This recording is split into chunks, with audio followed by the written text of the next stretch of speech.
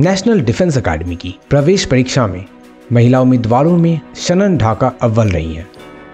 वह हरियाणा के रोहतक ज़िले की रहने वाली हैं। उन्होंने रुड़की, पंचकुला और जयपुर के आर्मी पब्लिक स्कूल से पढ़ाई पूरी की है।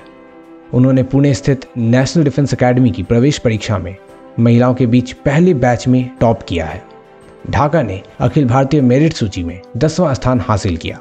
इस साल इतिहास में पहली बार एनडीए ने महिला कैडेटों को संस्थान में भर्ती कराया है। उन्होंने अपने दादा, जो एक सूबेदार थे, और उनके पिता विजय कुमार ढाका, जो आर्मी सर्विस कॉर्प से नायब सूबेदार के रूप में सेवानिवृत्त हुए थे, उनसे आर्म्ड फोर्स में शामिल होने की प्रेरणा ली।